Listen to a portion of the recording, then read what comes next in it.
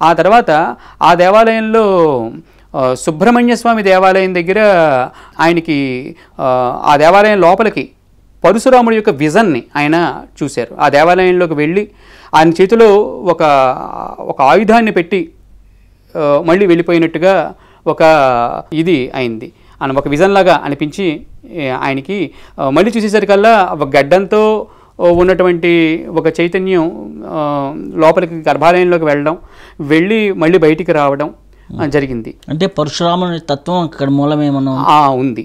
ఈ పడేవీడు క్షేత్రానికి పరశురాముడి యొక్క చైతన్యానికి చాలా అవినాభావ సంబంధం ఉంది అన్న విషయం ఆయనకు అర్థమైంది. ఎందుకంటే పరశురాముడు రేణుక యొక్క పుత్రుడే.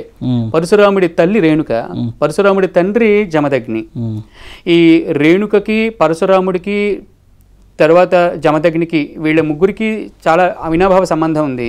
రేణుకకి పుత్రుడిగా పరశురాముడు రేణుకకి భర్తగా జమదగ్ని. వీళ్ళ యొక్క స్వరూప స్వభావాల తత్వానికి ఈ పడేవిడి క్షేత్రానికి ఉన్నటువంటి సంబంధాన్ని ఆయన అప్పటికప్పుడు దివ్య స్మృతిలో ధ్యానంలో తెలుసుకునేటువంటి ప్రయత్నం చేశారు గణపతిముని గారు. చేస్తే ఆయనకి చాలా విషయాలు బోధపడ్డాయి అన్నమాట ఆ క్షేత్రానికి పరశురాముడికి చాలా అవినాభావ సంబంధం ఉంది అన్న విషయం తెలిసింది.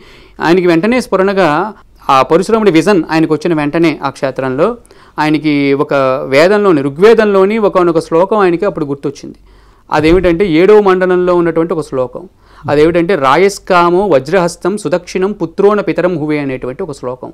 రాయస్కామో వజ్రహస్తం సుదక్షిణం పుత్రోన పితరం హువే. ఇది వేదమంత్రం.